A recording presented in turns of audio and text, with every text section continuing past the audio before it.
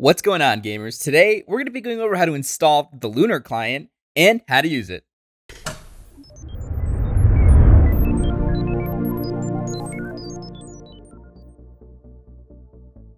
Before we get into this tutorial, don't forget to give this video a like, subscribe, and click the notification bell so you can get notified of every new tutorial we upload, just like this one.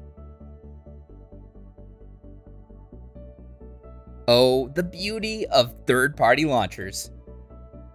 Ever since who knows when, new Minecrafters have been using third party launchers to play their favorite block game with extra features, better optimization, more settings, and much more. But why should you use a third party client and what does it really have over vanilla specifically?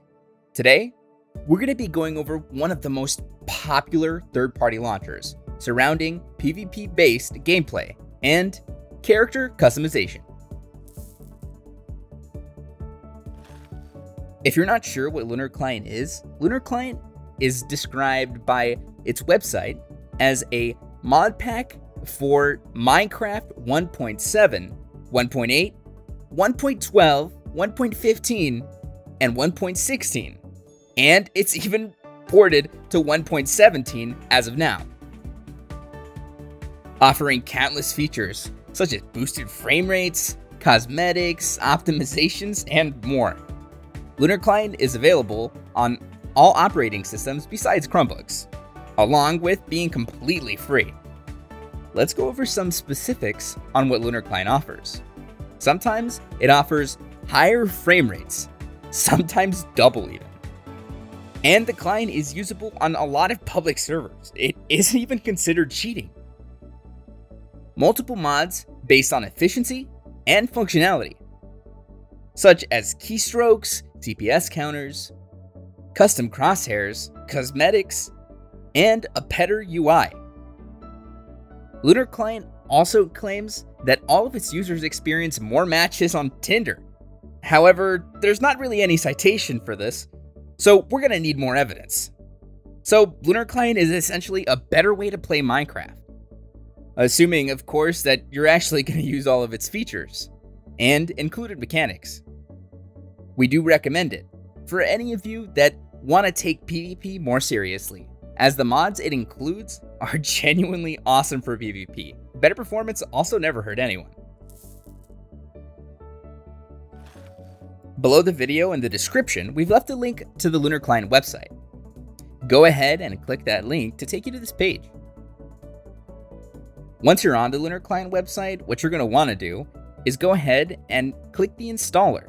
Then from here, click what installer you're going to need to download for the device you have. We're downloading the Windows one.